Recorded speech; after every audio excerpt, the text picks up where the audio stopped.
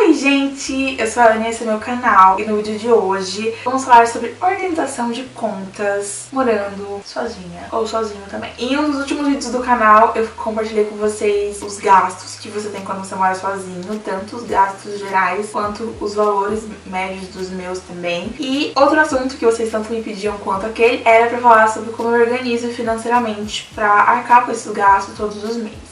Eu confesso que eu pensei muito se eu deveria fazer esse vídeo ou não, porque, sinceramente, gente, eu não tenho uma organização fixa. Tipo assim, eu tenho planilhas e contador e sabe, tipo, dou baixo todas as notas e anoto tudo que sai, tudo que entra. Eu basicamente tenho uma organização geral assim na minha cabeça de que eu vou falar pra vocês nesse vídeo agora, mas apesar de não ser algo super mirabolante, super trabalhoso, eu espero que essa minha experiência, isso que eu faço, possa te ajudar. Então é isso e vamos lá!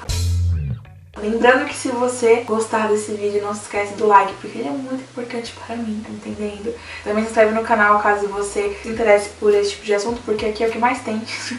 Minha vida morando sozinha aqui é o que eu mais compartilho. E não se esquece de comentar caso ficou alguma dúvida aqui no bloco de informações, que com certeza eu vou ler e vou te responder também. Bom, então bora lá. Como eu falei pra vocês, não existe um, um mistério um misterioso, uma coisa super elaborada, mas vocês queriam saber como eu fazia, né? Então aqui está como eu faço. Então vamos lá. Seguinte, como que eu organizo financeiramente pra, pra pagar minhas contas em geral, não só as contas é, da casa, enfim, mas enfim, como que eu organizo financeiramente? Pra quem não sabe, tem vídeos aqui no canal, inclusive, se você tiver interesse em entender melhor, mais aprofundadamente e também ver minha rotina de trabalho, eu trabalho em várias coisas. Eu tenho diversas funções, diversas profissões, que são editora de vídeos, eu edito vídeos profissionalmente, então para canais aqui do YouTube. Também tem o meu canal aqui do YouTube, que também é uma fonte de renda. E também tem meu trabalho como influenciadora, que se divide tanto aqui no YouTube quanto lá no Instagram. Então aqui no YouTube, através dos anúncios, tudo mais e de views, existe um valor que é pago. E lá no Instagram, através de publicidades, que eu não faço muitas, mas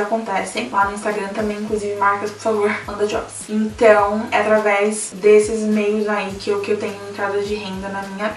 E assim como uma pessoa, por exemplo, que trabalha na CLT, eu tenho dias em que existem pagamentos por parte do, dos clientes, por parte do YouTube, por parte das empresas que me contratam para fazer publicidade. Então eu tenho num calendário as datas anotadas todos os meses, ou enfim, dentro do período que eu preciso receber, onde esse valor vai entrar. E assim eu me organizo pensando nesses dias. É muito simples na realidade. Se eu recebo, por exemplo, no dia 20 do mês, eu sei que eu tenho que colocar meu cartão de crédito para vencer todo dia 25, porque antes do dia 20 eu não vou ter dinheiro para pagar aquele cartão de crédito, entende? Então é mais ou menos assim que funciona. A diferença é que como eu tenho alguns vários clientes, a grana vai entrando ali em dias alternativos, não, nem tudo entra junto, sabe? Tipo, existem clientes que pagam no mesmo dia, todos os meses, mas existe, por exemplo, um que paga no começo, um que paga no final, um que paga no meio, então isso me ajuda a ter uma maior flexibilidade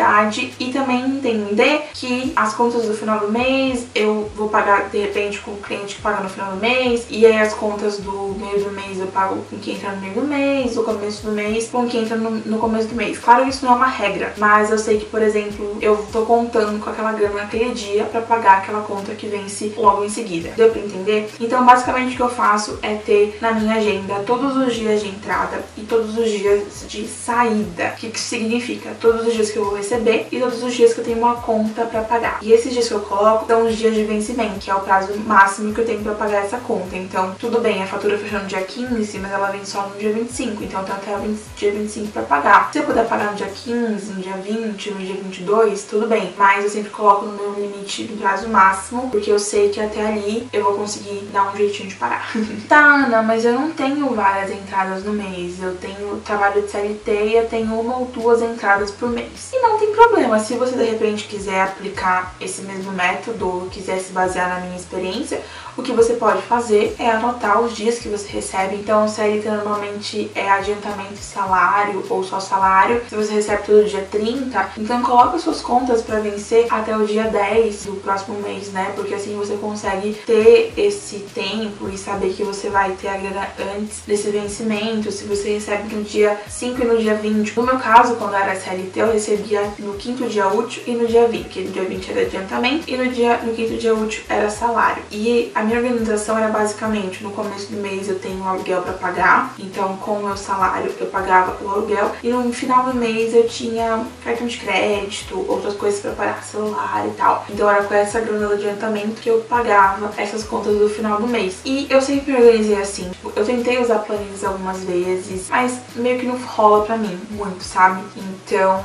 as minhas contas gerais da vida é assim que eu faço. E só pra vocês terem uma ideia, no vídeo que eu falo sobre os gastos de morar sozinha, eu dou um pouco mais de ênfase nessas questões de entrada e saída e de contas fixas e contas variáveis. Então, vai lá se você tem interesse, mas só pra vocês terem uma ideia, as minhas saídas fixas, por exemplo, são aluguel, cartão de crédito, as contas de água, luz, internet, essas coisas. E as minhas entradas fixas vêm de cliente, de YouTube e de publicidades lá no Instagram. Uma coisa que eu também faço para me organizar financeiramente, para conseguir também guardar dinheiro, que é uma coisa muito importante, ainda mais para mim que sou que eu, eu tenho colaboradores, no caso o Caio que me ajuda aqui no, no canal com a edição dos vídeos também e que também trabalha comigo na Made Baiana e que eu tenho que arcar com essa responsabilidade de, por exemplo, pagar ele todo mês, eu tenho que me organizar financeiramente dentro da minha empresa, que é a Made Baiana, que é a minha empresa de edição de vídeo e design. Então, basicamente o que eu faço é, eu tenho duas contas PF em dois bancos diferentes e eu tenho uma conta PJ. Num dos bancos também tenho PF. Então, eu tenho duas PF e uma PJ.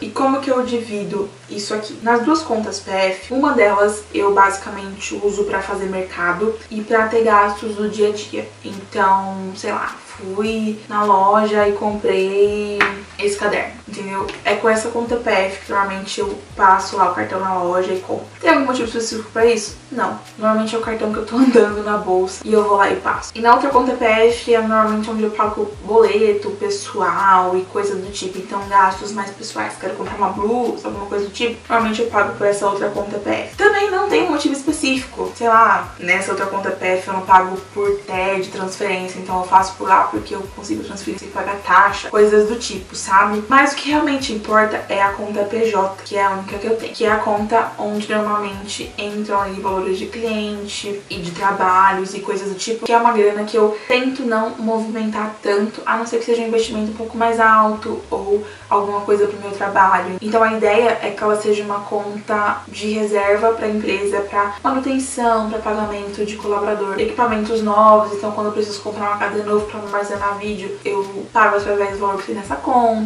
Investimentos mais altos, como por exemplo os móveis da minha cozinha, eu também fiz a, a transferência por aí. Então, meio que eu me organizo dessa forma. Essa conta da empresa, ela fica sem muita movimentação, a não ser que realmente seja necessário. É claro que existe uma movimentação nessa conta, afinal de contas, como é dali que os clientes pagam e tudo mais, eu preciso transferir aquilo de repente para minha PF, algum valor para pagar alguma conta, coisas do tipo, porque é dali que vem o meu salário também, mas eu quero dizer é que sempre eu deixo um armazenamento ali. Pode variar de mês a mês, porque tem meses que eu consigo guardar mais e meses que eu consigo guardar menos e tudo bem, importante para mim é guardar pelo menos uma quantia mínima que seja, pra ter ali um valor reserva para armazenamento, para pagamento de colaborador, enfim, coisas do tipo para eu ter uma reserva para a empresa caso eu precise fazer investimento, por exemplo, de um HD novo pro meu computador, ou enfim, a minha ring light queimou, eu preciso comprar uma outra ring light para poder gravar vídeo, ou tenho plano de trocar a câmera daqui um ano, então eu quero comprar um equipamento novo, tô me preparando para isso. Então, normalmente eu faço isso, mas isso é só um adendo a mais para no caso eu que tenho a minha empresa, caso você não tenha ali a necessidade de ter uma conta PJ, não precisa. Mas é normalmente o que eu faço por conta da minha necessidade. E em questão de reservas e investimentos, dinheiro para guardar, eu acho que é um assunto um pouco delicado para falar, porque o que eu vejo muito é um discurso de que, ai, guarda, faça uma reserva de tantos por cento do seu salário todos os meses para no final do ano você ter tantas coisas. E eu até acho que é uma boa ideia, que é uma boa iniciativa, que é uma, uma boa forma de você guardar dinheiro, mas eu também sei que não é todo mundo que pode fazer isso, sabe? Tipo, como é que você fala que uma pessoa ganha um salário mínimo e tem quatro filhos para criar para guardar 20% todos os meses do salário, ou guardar 30%, ou investir 40%. Tipo, eu não acho que é a realidade de todo mundo. Então, o que eu vejo como uma possibilidade é que você analise dentro das suas possibilidades, do, do seu dinheiro mensal, do quanto você pode investir e invista. Se você puder guardar 10 reais, vai guardando 10 reais, sabe? Nem que seja para no final do mês você comprar uma pizza que você goste. Nem que seja no final do mês para você poder ir num, num, show que você queira ir. Nem que seja para você fazer alguma coisa pro seu lazer, sabe? E o que eu faço é reservar e guardar essa questão da segurança da empresa, também para poder ter uma segurança financeira, mas é um assunto que eu não, não sei muito bem como me aprofundar, justamente porque eu não quero vir aqui falar uma coisa que eu faço, porque além de não ter regra pro que eu faço, porque varia, também é uma coisa que eu não conheço a realidade de todo mundo, mas uma coisa que eu sei é que todo mundo tem a mesma realidade, sabe? E eu não quero lacrar falando isso, tipo, não é lacrar, mas é que eu tenho medo mesmo, sabe? Tipo, medo de, sei lá, de falar besteira, de falar uma coisa que não que não é verdade pra todo mundo, enfim, sabe, assim, eu não quero me comprometer com essa responsabilidade. Então, enfim, faça o que estiver dentro da sua realidade e é basicamente isso sobre investimentos, eu não tenho muito sobre como falar. Eu também, eu também, ah, eu também não invisto ainda em nenhum tipo de bolsa de valores ou acho que Selic e tal, ainda não invisto porque eu entendo pouco sobre isso, mas tenho uma consultora financeira maravilhosa que é a Renata, que super me ajuda, então eu estou aprendendo um pouco mais com ela, mas ainda não invisto, mas em breve quero investir porque é uma coisa importante, né? Mas enfim, gente, esse foi o vídeo. Eu não sei se ficou confuso, se não ficou, se deu pra entender, se não deu, mas eu espero que tenha ajudado de certa forma, principalmente se você ainda não se organiza ou não sabe como se organizar, mas assim, e também não tem muita paciência talvez pra ficar fazendo mil planilhas, ou realmente não quer, mas quer se organizar pelo menos o básico por mês, então eu acho que talvez tenha te ajudado e eu espero que sim, porque eu realmente não sei se te ajudou, porque eu fiquei pensando, será que eu faço esse vídeo? Porque eu não faço muita coisa, mas vocês querem vocês, tá me entendendo? Se ficou mais alguma dúvida, não se esquece de comentar aqui embaixo, porque eu vou ler e responder tá me entendendo? Deixa seu like, não se esquece também de se inscrever no canal se você é novo por aqui, porque tem muito conteúdo sobre a vida morando sozinha, principalmente se você estiver pensando em vir aqui pra São Paulo, que é top, porque eu moro aqui e eu amo, e vocês também amam ver isso aqui, então continuaremos fazendo porque somos perfeitos juntos. E é isso, um beijo, se cuidem e até os próximos vídeos. Tchau!